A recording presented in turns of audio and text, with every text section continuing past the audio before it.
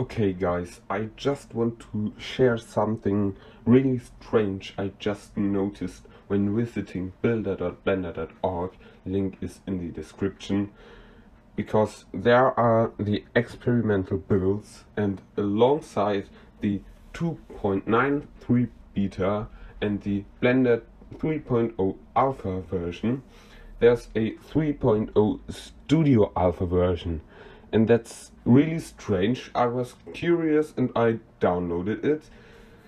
So um, I tried to unzip this zip file and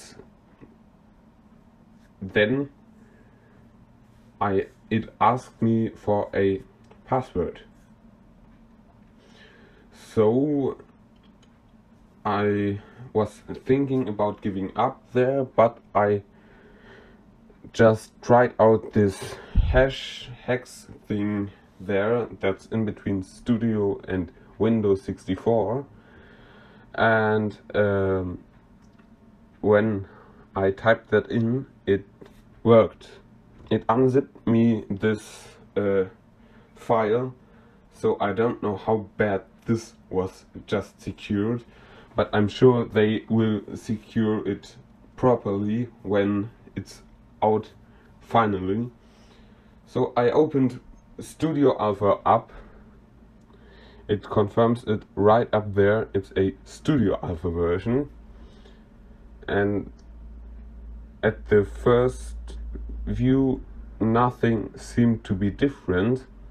But then in the add-ons, I noticed there were pre-installed add-ons that are paid like KitOps or the Keen Tools face builder, so it might even come subscription based and it might be really expensive because who knows Keen Tools face builder it's a very expensive tool. There was also a trial version of Graswald and something they might pay make this pay thing work is via Blender Cloud because the Blender Cloud add-on is pre-installed. So that's a bit mysterious. I'd really like to know what Blender is planning there.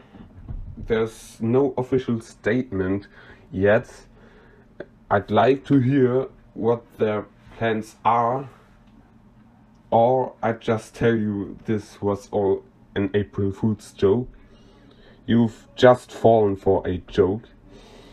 Obviously, Blender is going to be free forever, and if you want to know how I created the illusion of a Blender Studio Alpha version, the uh, behind the scenes footage is going to be published in the next few days on my Patreon, so check that out and have a nice day.